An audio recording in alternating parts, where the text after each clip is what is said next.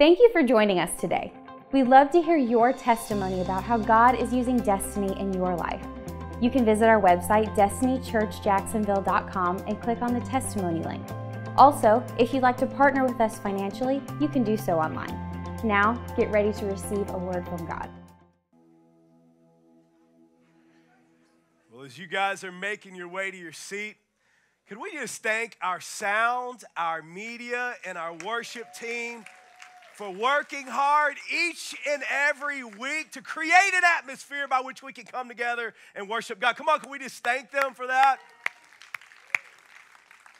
And can we thank God who shows up not only every week, but every day, every hour, every minute, every second of our life, who promises that He will never leave us nor forsake us? I think Destiny Church can do a little bit better than that because God has been good to you. He's good, amen? God is good. And all the time. Come on. Y'all been in church for a while if you know that little right there, but it's still true. Amen. Come on. Well, I want to welcome everyone to Destiny Church. I want to just chime in with my wife said and welcome our, our guests. So, can we welcome our guests today? Uh, we are just so honored to have you here this morning. We know there's a lot that you could be doing on a Sunday morning, and, and so uh, we want to welcome you and also want to welcome you to week two of our series, Legacy. If you didn't catch last week's message, you can always catch any of our messages online on our uh, podcast, church website, YouTube. By the way, we want to welcome our online audience. It's uh, good to have you guys tune in with us. And if you weren't here, what I'll do is I'll try to maybe do a little bit of a recap of last week as we dive into today's message. And I'll start with giving you what I believe is kind of the overall theme of this series. Legacy is about us living our lives in such a way that it makes a difference. And we talked a little bit about this last week, and, and I want to highlight it again. And that's that you and I are already hardwired to make a difference. God has placed that in each and every one of our hearts. Ecclesiastes 3:11 says this. It says he has made everything beautiful at its time. Also, he has put eternity into man's heart. In other words, He's placed something within us, He's placed within us a desire for something greater. Something greater than just getting a raise at our job, even though that would be nice, right? even though Uh, I'm talking about having a, greater desire for a, nicer vacation, a dream vacation, a, a dream car, or, or a dream home, but something that's going to have lasting significance. And what I want to do today is I want to share with you what I believe is a, a powerful motivation. It's a motivation that's caused people to, to move to the ends of the earth. It's a motivation that's caused people to build orphanages. It's a motivation that's caused Christianity to spread all over the world. And it's a motivation that once you possess it, it will change how you live. And it will also solve a lot of the problems that you'll face in life. And it's simply that there's more to this life than this life. And you know, this is what the Bible uses oftentimes for, for, motivation, really in almost everything that we do, for, for legacy, for, for generosity, for all things compassion. It uses the topic of heaven. I'm talking about the fact that how that one day we will all stand before God and that we have this opportunity here while on earth to live it in such a way that we can make a difference in eternity. If you'll study the Bible and what it says about touching people's lives, you'll find that it usually starts with that motivation that heaven is the reason that we do it, to store up treasures in heaven. And that's what I want to talk to you about today. Now, Many of you know this about me, but I've been in ministry now for over 20 years. And during that time, I've had to walk people through a lot of crises, many of which were some of the darkest moments that you could possibly imagine. I've had to do funeral of, of children who died tragically. I've had to do funeral of those who were murdered, and yet others who died very quickly and unexpectedly. One of those was my own mom. But in the midst of these terrible tragedies and the accompanying grief, I've also noticed what the Bible calls the blessed hope the knowing that one day we'll see them again. And I've just got to tell you, as someone who's walked through a tragedy, I am so thankful and grateful for the hope of heaven. Amen? Because you see, when you have that hope, it changes everything. It gives you a completely different perspective on life. Not only that, but it also changes how you live. It, cha- it, changes, it, it changes how you treat others. It changes how you spend your money. It changes how you spend your time. And I said that the Bible often mentions heaven and, and, and, using that as a motivation. And this morning, I want to share with you two places in Scripture where it does just that. And it's my prayer that we'll begin to live more and more with this eternal perspective. Now, I shared this scripture with you in the end of last week's message, so we'll kind of pick back up uh, on this scripture, but I want to highlight it and read it one more time. It was 1 Timothy chapter 6, verses 17 through 19. And the scripture says to command those who are rich, which, by the way, that's all of you in this room. Are you hearing me? I, don't care if you make minimum wage, that still puts you in the category of the richest of the world, okay? Command those who are rich in this present world. Again, the scripture is highlighting the reality that this isn't the only world, that this isn't all that there is. Command them to not to be arrogant, nor to put their hope in wealth, which is so uncertain, but to put their hope in God who richly provides for us everything for our enjoyment. As a matter of fact, I think it's kind of important, uh, important right here that we note that the things that God gives us, He doesn't expect us to give it all away. I mean, like, there's some people that would teach you that. They're like, God just wants you to be poor and anything you ever get, you're to give away. But that's not what the scripture says. It says here that He richly provides us with everything for our enjoyment. It goes on to say to command them to do good, to be rich in good deeds, and to be generous and willing to share. See, there's the balance, right? In this way, they will lay up for themselves uh, treasures as a, as a firm foundation for the coming age. See, this is our focal point right here. This is where we need to fix our focus. It says, so that they may take hold of the life that is truly life. Now, here's what I want to give you today that there's a life beyond this life, and you will want to invest more into that life in every way. And I want you to see how that important it is that we invest in that life that's to come. You see, there, there's a present age here, but the Bible repeatedly talks about the coming age. And we need to be spending more time, more energy, more resources on that coming age. I'm talking about our life and all that it entails being driven by eternity. And here's why. Are you ready? Because heaven, not earth, is my home. And when we get to that place of understanding that we're just passing through, that this isn't our final destination, that truth changes everything. See, I feel like that's some of the best pastoral advice that I could ever give you. That when you're facing troubles and difficulties here on earth, it's just temporary. You're just passing through. It's not how the story ends. Jesus says these words in John chapter 14, verses 1 and 2. He says, Let not your hearts be troubled. Believe in God, believe also in me. Then listen to what Jesus says next. It's, it's the motivation of, of heaven that we're talking about here. He says, In my Father's house are many rooms. If it were not so, would I have told you that I go to prepare a place for you? And if I go to prepare a place for you, I will come again. Come quickly, Lord Jesus, and take you to myself, that where I am, you'll be also. You see, every time that the disciples came to Jesus with an earthly problem, he directed them to a heavenly solution. Because the real solutions for your life, they're not here, they're there. You're just passing through. Listen to what Paul says. And I love the fact that he says this from a prison cell. I think it's so significant because oftentimes people can't grasp this perspective because they've got it so blindingly good.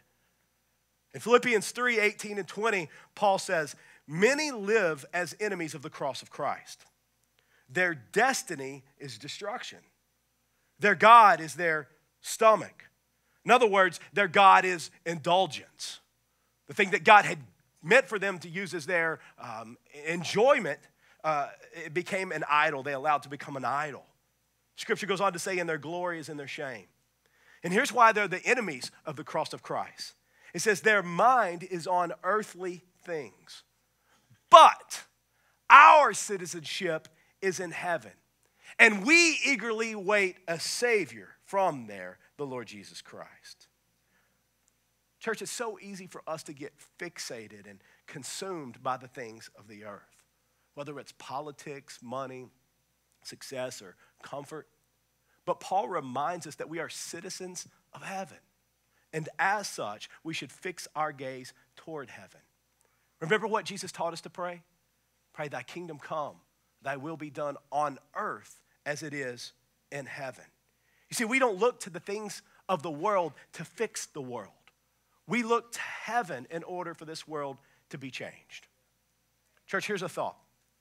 As citizens of heaven, we bring heaven to earth. Or at least we should be. That's why we're called the ambassadors of Christ. We're re- to represent the kingdom of heaven everywhere we go. We're called of agents of change here on this earth. And the way that we bring that change is by focusing upward. Say, Pastor, what do you, what do you mean by that? I'm talking about living as citizens of heaven, living as Jesus taught us to live. Because watch this, that's what the world needs. That's why Jesus said in Matthew 5 16 to let your light shine before men in such a way that they would see your good deeds. And then do what? Give glory to your Father who's in heaven. Listen, I'm sure everyone here has probably considered this, but I feel compelled to remind you this life is temporary. This is, there's a, a one time shot that we have here during this brief period that we call time to make an eternal difference. Which brings me to the second reason that you need to fix your, your time, your energy, and your passions toward eternity. Because there's limited time and incredible opportunity. Let me ask how many of you have found yourself becoming more and more aware of the fact of how short time is? Well, if it's not hit you, just let a little bit of time pass by and eventually it will. But not only do we have limited time, but watch this, we also have incredible opportunity. See, oftentimes, I think the American church is the guy in the parable of the talents that we're given the five talents. I just pray that we're not acting like the person who was given the one. Are you hearing me, church? Ephesians 5, verses 15 and 16 says, Be very careful then how you live. Watch this, look at me. How you live matters. I said, how you live matters. Don't be using grace as your trump card to just think that you can live however you want. Paul said, you know, do I go and live however I want so that grace would abound? He said, God forbid it. Be very careful then as to how you live, not as unwise, but as wise. Watch this making the most of every opportunity because the days are evil. Church, there is opportunity all around us. And the kind of opportunity that I'm talking about here is the opportunity that leads to life change. For example, you have the opportunity every day to encourage someone. You have the opportunity to redirect a portion of your finances towards something that will have eternal significance. It's just a matter of what you make a priority. You have the opportunity to give of your time and serve in a multitude of ways. And if you don't know how to serve, if you're here and say, man, I'd love but, to, but I really don't know how to do that, one thing that we've tried to do at Destiny is to try to make it easy for you to be able to serve. There's tons of ways that you can serve here at the church, but there's tons of opportunities that we have that we can connect you with, or ways that you can serve all throughout the week with different amazing organizations that are doing great things. But you see, I wonder if many people pass on these opportunities of things they can do because they don't see that thing as significant. I shared a story with you last week of my wife where she had just been every day dropping little, you know, words of encouragement to a friend of hers at work and then invited her to church, and it completely changed her life. Everything that we do, if anything matters, it all matters. And we all have an opportunity each and every day to be able to make a difference in someone's life.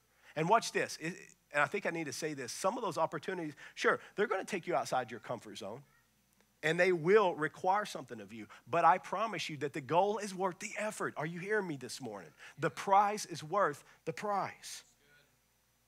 So, what I think usually happens is that opportunities are often disguised as hard work, and so people ignore them. Unfortunately, we live in a culture that expects much from giving nothing. But the Bible teaches us this that whoever sows sparingly will also reap sparingly. And whoever sows bountifully will also reap bountifully. That's in 2 Corinthians 9 6. Church, excuses will always be there for you, opportunity won't. Are you hearing me?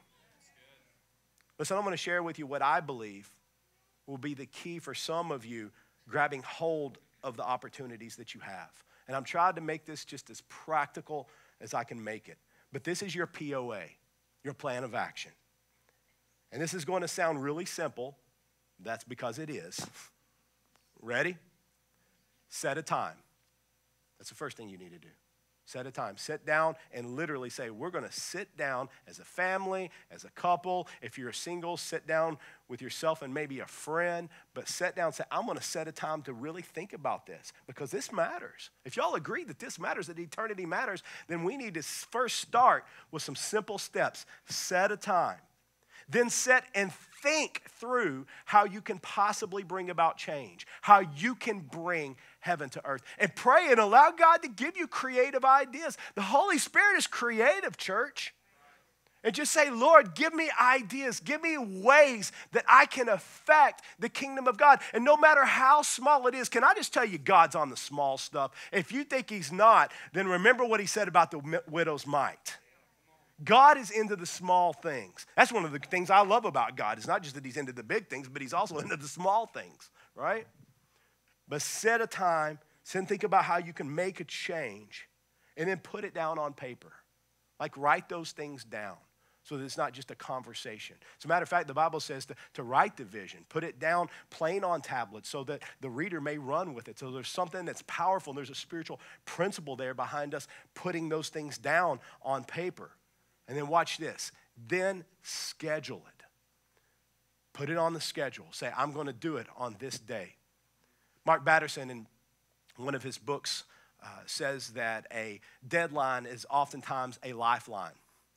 Because if we just say, oh, I'll get around to it, and we never schedule it, we have these good intentions, we have these great ideas, but if we don't schedule it, we never get around to it.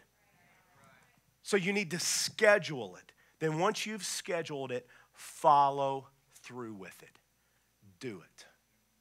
Man, I wish I could. I could sit up here for the next couple hours and tell you of times that I did things that honestly, going into it, I didn't think it was going to have that great of significance, just little small things, but they ended up being life changing moments. God just needs a people who are faithful, a people who are available, and a people who are teachable. Will you be one? Will you be one? Will you be available for God to use? Will you be faithful? Will you be teachable? Will you be open to the Spirit of God um, challenging in you and, and causing you to step outside of your comfort zone so that souls could be changed, so that lives could be changed? Do something that's going to show up in heaven. Do something that's going to show up in heaven. Jesus says this in a much more eloquent way in Matthew 6 19, verse 21, when he says, Don't store up treasures here on earth where moths eat them and rust destroys them. Come on, we know about stuff getting rusted up here in Florida. Bought some chairs three months ago, and those things are already rusted to pieces. Because the things here are temporary, right? Don't store treasures up here on the earth where moths eat them and rust destroys them and where thieves break in and steal. Store your treasures in heaven where moths and rust cannot destroy and thieves do not break in and steal. Wherever your treasure is, there the desires of your heart will be also. There's often an overlooked truth here that Jesus mentions at the end of this verse. He says, Wherever your treasure is, there the desires of your heart will be also. In other words, start serving and giving of yourself and watch how your heart begins to shift and your desires begin to change. See, I think that oftentimes we just wait until uh, our heart is moved in a certain direction before we serve or before we give. But Jesus tells us that our heart will follow our treasure. And our treasure is our time, our talent, our resources, and our money. Jesus says that whatever, wherever you're giving that, your heart's going to follow. You say, Pastor, but how do I know what I should give my time, my talent, my resources to? Well, I've already said it, but I'll say it again to something that will show up in heaven. To something that's going to make an eternal difference. And church, I just think, I mean, come on, let's, let's talk family for a minute, all right? Kind of just not be pastor and be your brother for a minute in Christ and just say, look, we, we need to ask ourselves these questions. I'm asking these questions with my family. Just this last week, a lot of our conversation was about stuff that's going to outlive us. I don't want to consume everything that God gives me. I don't want to consume the time that God has given me just on me and just on my family. Although I, I believe that some of it is to be given to my family. I, but I think that God has called me to more than just my family. And God's called you to more, more than just your family. He's called you to your family. Some of us need to spend a little more time on our family. But He's also called us to do so much more. He's called us and, and, and promised us, promised us that He would give us the nations as our inheritance if we would just ask. So we've got to say, what am I giving toward that's going to show up in heaven? What am I doing that's going to make an eternal difference? Jesus tells us why we should do that there in Matthew chapter 6. He says, because those are the things that will really last. Like, our cars aren't going to be on the road in 100 years from now. Like, likely our houses aren't still going to be standing 100 years from now. I mean, good, good possibility, should the Lord tarry, that they're going to get knocked down and another one will be built in its place, right? But there are things that we can invest in that will last for eternity. Are y'all hearing me this morning, church?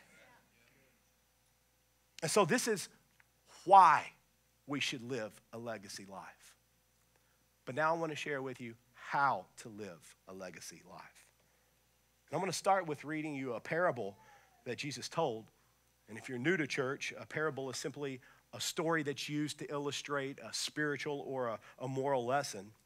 And in most every instance that Jesus tells one, it contains different applications for life. Interestingly, this parable here is called the parable of the rich fool. And it's found in Luke chapter 12, verses 16 through 21, and Jesus is the one sharing this. He said, The ground of a certain rich man yielded an abundant harvest. In other words, he's saying the rich got richer, right? And he thought to himself, What shall I do? I have no place to store, now watch this language here, my crops, my stuff. He says, Then this is what I'll do I'll tear down my, my smaller barns, and I'll build bigger barns and there I will store my surplus grain. So this man believes that his extra was for his keeping. He said, and I'll say to myself, You have plenty of grain laid up for years. Now, this is where he's totally wrong. Because he thought that because he had more stuff, that he had more time. And those two don't correlate. Take life easy, eat, drink, and be merry, he said. Now, at this point in the story, and if it were to stop here, you might think that Jesus was given a good lesson on saving, right? But Jesus flips the script and he says, But God said to him, You fool, this very night your life will be demanded from you. Then who will get what you have prepared for yourself? It certainly wouldn't be the rich man, right? Then Jesus brings home this parable with a, a, spiritual truth. He says, This is how it will be with whoever stores up things for themselves, but is not rich toward God. See, Jesus introduces this concept that we all need to have in our heart about being rich toward God. And I want to show you how you can be rich toward God. How you can have a, let's call it a heavenly portfolio, which hopefully one day will lead to saying, Jesus saying to us, Well done, good and faithful servant. And here's the first one. Are you ready? Give yourself to God. See, I become rich toward God when I give myself to God. And I want you to grab hold of this because, church, this is a foundational principle, one that you can't move forward, you can't move past until you get it. Really, it's what it means when we say to make Jesus the Lord of our life. It's saying that all of who we are becomes His. See, here's the thing that I want you to see Jesus never really asks for our stuff, He asks for you. But when Jesus gets me, He gets all of me, not just a percentage of me. I heard a quote once that I believe that is so true. It was by a, a man named John Bonnell. And he said, If one first gives himself to the Lord, all other giving is easy. Come on, isn't that good? But giving ourselves to the Lord means that our lives are no longer our own, they belong to God. As a matter of fact, the Bible says it that way in 1 Corinthians 6 19 and 20. It says, You are not your own. You were bought with a price. Therefore, honor God with your bodies. Honor God with every part of your life. How do we do that? Well, here's the second how. We do it by acting like a steward, not an owner. That means that you manage your life in such a way that it's God honoring. Manage your time, manage your family, manage your job, manage your resources like it belongs to God because it does. And a good practical way to uh, approach doing this is to simply ask God what you should do with what He's given you. As a matter of fact, through the years at Destiny, we've had the opportunity uh, to give large amounts of money to uh, various things that have made and are going to continue to make eternal significance. And when we've given to those things, I don't know if you've ever noticed this or not, because I'm pretty deliberate about the word selection that I grab hold of when I'm up here, because if I'm speaking for God, I better be, right? And um, I, I've determined to never ask you to give, but I've always asked you to ask God what you're supposed to give, right? Because I don't own you either, God does. As a matter of fact, Psalm 24 1 says, The earth is the Lord's and everything in it, the world and all who live in it. Now, I just want to address this in case there's anyone here that says, Yeah, well, but I've worked for what I've got. That, that's, mine. that's mine. No, ma'am. No, sir. It absolutely is not. Deuteronomy 8 18 says, But remember, as in, don't forget this remember that it is the Lord your God, for it is He who gives you the ability to produce wealth. Hey, you may have showed up at the job site, but God put breath in your lungs. He gave you those ideas, He gave you that ability. And so we've got to live our lives like a steward and not an owner. And here's the third way that I can be rich toward God I'm going to view everything through the lens of eternity. Church, this is right at the heart of this series on legacy to be eternally minded in everything that we do, to see our waiter or our, our waitress through the eyes of eternity, through the lens of eternity, to see our employees, to see our boss. I know it takes faith sometimes, through the lens of eternity.